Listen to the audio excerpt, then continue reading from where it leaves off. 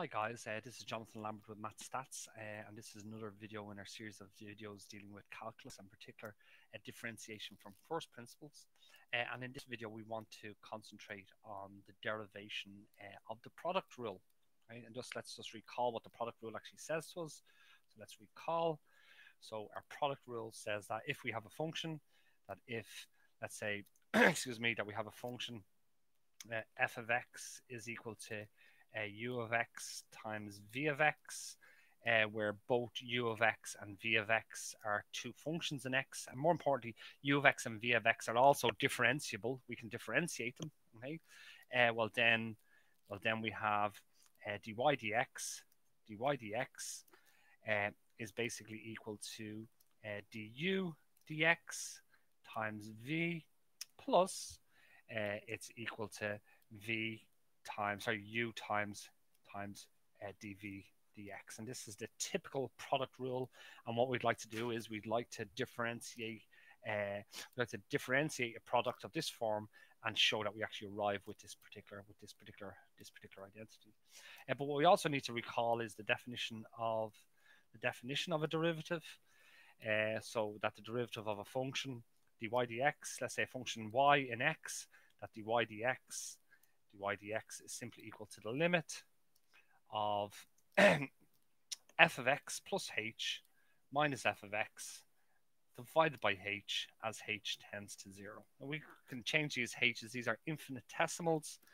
Uh, we can change these infinitesimals to be some other symbol, for example, like maybe like maybe delta x, and say uh, it's f of x plus delta x minus f of x all over delta x as delta x tends to zero. But just maybe just for space, we'll just let delta x be the same as h.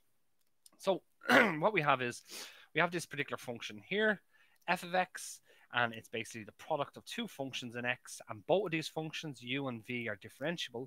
And what we'd like to find is we'd like to find their derivative. So let's just start this off. So let's just say let, let f of x uh, equal u of x times v of x.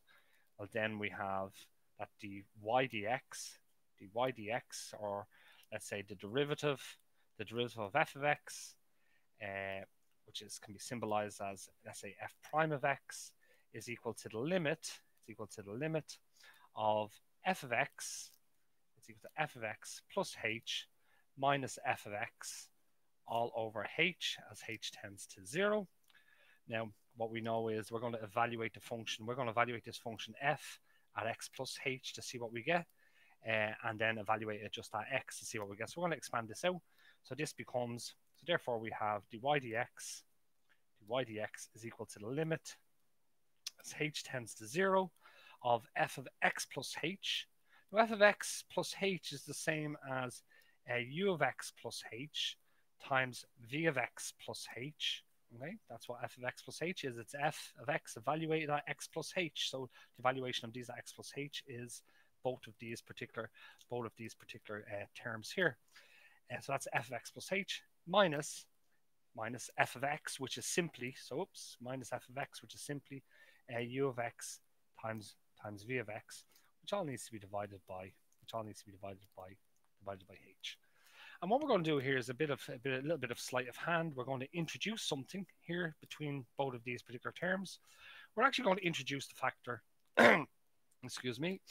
Uh, we're going to introduce the, the factor. Let's say uh, u of x, uh, u of x times let's say v of x plus h minus uh, let's say for argument's sake, let's say or plus, let's say minus that particular term plus that term u of x times v of x plus h. So we're just going to introduce this. You can actually see that uh, minus u of x times v of x plus h plus u of x times v of x plus h is actually equal to zero. So introducing that term here has no effect other than it's going to help us to expand out this particular, this particular, uh, let's say, this particular uh, set of terms and to find and to actually factor it, right?